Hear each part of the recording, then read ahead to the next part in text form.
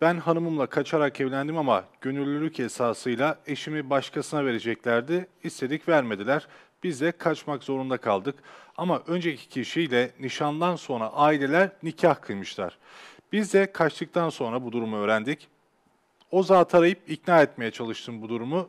Gurur meselesi yapmamasını, ailesi benim sevdiğimi bildikleri halde sana vereceklerini söyledim. Tabii e, o ilk anlar kızgınlıkla geçti. Nikahı iptal etmesini istedim ama e, adam olmaz dedi. Kitaplarda kişi ilk kimi nikahladıysa 30 defada evlense ilk kişi de diye yazıyor. Ama 3 defa istemem derse bu işin yani nikahın boş olacağı beyanı vardı. Biz ilişkiye girmedik bu sorunu kaldırmadan ben de bu zata istemem dedirtmek için bazı sorular sordum. Mesela biz artık karı koca olduk bu koşullar altında. Bu vaziyette eğer kabul edersen sana geri göndereyim dedim. Bu vaziyette ister misin dedim. İstemem dedi. Üç defa tekrar ettim. O da istemem dedi. Şimdi nikah hala o adam üzerinde mi yoksa nikah fes oldu mu? Bu işe e, çok oldu kimseye de açamadım ama içimde hala bir sıkıntı var. Günah mı işledik çocuklarımız oldu ama zina mı ettik sağlam bir kaynak bulamadık demişler. Bu konuda bilgi istemişler. Tabii ki her şeyden önce bu gibi manzaralar e, hoş olmayan manzaralar. Evet. E, tabii bunların bir de öncüsü yani buna sebebiyet veren şeyler nelerdir? E, bu konuda ebeveynin daha hassas, daha titiz olması gerekir. İstemedikleri yani çocukların istemediği bir evliliğe onları zorlamamaları ki zorlamaları işte bu gibi manzaraların oluşmasına da sebebiyet verebiliyor ki çoluk çocuk sahibiyiz diyor. Yani eğer hala aralarındaki nikah yoksa ciddi anlamda burada problemler vardır. Tabii biz bu kardeşimiz için net bir şey söylememiz mümkün değil. Şu bağlamda söylememiz mümkün değil. Ee, diyor ki nişanlılık döneminde e, eşim diye tabir ettiği o bayanı işte eski e, eşi diye tabir edilen o damat adayıyla nikahladılar diyor. Ama eşim istemiyordu. Tabii bu nikahlama nasıl oldu? Ee, acaba işte kızın babası kızını onun çocuk ile nikahladı ama kız buna onay vermediyse, e, buluğ çağına ermiş olan bir kız olduğu halde buna onay vermediyse bu nikah zaten geçerli bir nikah değildir. Ama istemeye istemeye onay verdiyse yine bu nikah geçerli olacaktır. Dolayısıyla evvelki nikahın e, kıyılış şartları nasıldır, nasıl oluştu bunu bilmek gerekir her şeyden önce. İkinci olarak da bu nikah eğer geçerliyse, bir şekilde bu sahip bir nikahsa e, o zaman öteki adamın e, işte bir takım laf cambazlılığı yapmak suretiyle istemiyorum tabirinin kullanılmasıyla biz bunu hemen ayrıldı tabirini kullanamayız. Çünkü bunu kinaye lafzı olarak değerlendirebilir miyiz, değerlendiremeyiz mi? Kinaye lafzı olduğunu varsayalım kabul edecek olsak bile boşama kastıyla mı bunu söyledi? Yoksa boşama kastı burada yoktu bu şekilde midir? Boşanmak Ee, burada- istemiyorum ama geri de gelmesin onu da istemiyorum Yani birçok şeyler vardır. O yüzden buradaki kardeşimize tavsiyemiz e, şu anda mevcut o kişiyle beraberlik yapmasın. E, bu konuyu tam manasıyla aydınlatana kadar. Bunu da ne yapsın? Şahsı adına işte fetvadaki arkadaşları arayabilir, bizim fetva hattını arayabilir.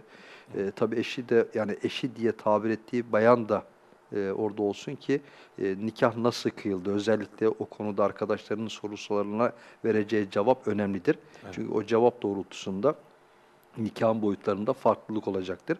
O yüzden e, kardeşimize tavsiyemiz derhal kendi şahsı adına e, birebir bir hoca efendiyle eğer yoksa etrafında böyle bir hoca efendi bizim fetva hattını arayarak oradaki arkadaşlarla durumunu arz etsin. E, o evvelki nikah nasıl kıyıldı onu da anlatsın. O şekilde onların söyleyeceği doğrultuda hareket etsin. E, yani gerekirse de bir şekilde o adam eski adam bulunup onun boşaması sağlanmalı. E, Çünkü ciddi anlamda sıkıntı. Tabi burada diğer bir şöyle bir boyut daha var. E, resmi nikah yapılmadan dini nikah yapmanın zararları aslında bu. Evet. E, ki Efendi Hazretlerimiz e, Çok çok Allah uyarıyordu. ona selamet versin, Amin. sıhhat selamet versin, başımızdan eksik Amin. eylemesin. Amin. Bu noktada ciddi anlamda uyarmaları vardı. Çünkü bizim insanlarımız e, resmi nikaha olan inançları gibi dini nikaha inanmıyorlar. Daha doğrusu dini nikahın bağlayıcı olduğu konumunda e, bir örfümüz yok, bir bilgimiz yok. Yani kolay bir şekilde hemen atılabiliyor. Oysa arada resmi nikah olsaydı bu durumdan hiçbiri olmayacaktı. E, o yüzden e, yani ne olursa olsun resmi bir bağlantı söz konusu olmadıkça dini nikah onay vermemek gerekir. E, efendim bu nasıl olsa evlenecekler, ileride rahat bir şekilde alışveriş yapsınlar. Yok, rahat yapmasınlar. Herkes ayrı olsun. Ee, normal yabancı bir bayan ile yabancı bir erkek nasıl birliktelikleri olabiliyorsa bunlar da o şekilde birliktelikler olabilsin. Yani mahremiyet çerçevesine dikkat ederek öyle çok fazla labali olmasınlar. Çünkü çok duyuyoruz nişanlık döneminde e, niş- nişanın atılması, hatta nikah döneminde bile nikah esnasında e, nikahın bozulma olaylarını o yüzden hiçbir şey garanti değildir. Resmi nikah bitmeden din nikah ebeveyn asla onay vermesin. Kızlarımız özellikle bu konuda Evet. çok mağdur olan taraflardır. E, çünkü bazen babalarına iz- e, haber vermeden, ailelerine haber vermeden e, birey olarak kendileri bu konuda e, bir takım sözlere kanarak e, bunu onay veriyorlar ve bunun ceremesini de onlar çekiyor. O yüzden onlara da bu şekilde yani bir şekilde hitap etmiş olalım ki ne olursa olsun resmi nikah olmadan dini nikaha onay verilmesin ve bunun ciddi anlamda sıkıntılara sebebiyet verdiğini görmekteyiz. Evet. Bilmiyorum belki hatırlar mısınız hocam? Biz de evlenmeden önce nikah için size gelmiştik. O zaman da yine Efendi Hazretleri'nin bu sözünü söylemiştiniz. Yani tam nişanlık dönemiydi. Yani düğüne de bir ay gibi bir süre vardı ama yine de e, onu söyleyip kabul etmemiştiniz nikah kıyma meselesini. E, tabii ki güzel bir tavsiye oldu. Bizler de ilk defa orada öğrenmiştik o meseleyi. Biz etrafımızdakilere veya şimdi duyan kardeşlerimizle şimdi etrafındakilere veya e, aile içerisinde böyle durumlar olduğu zaman en azından e, bununla amel edecekler Yani inşallah. bir zamanlar siz bir gelini alacaktınız ama Evet. şimdi kızınızı vereceksiniz. Aynı durum kızınız için olduğunu düşünecek olursak nasıl olacak? Yani o zaman Yani daha çünkü sizin de talep ettiğiniz kız birilerinin kızıdır. Ee, işte birilerine baba diyor, birilerine anne diyor.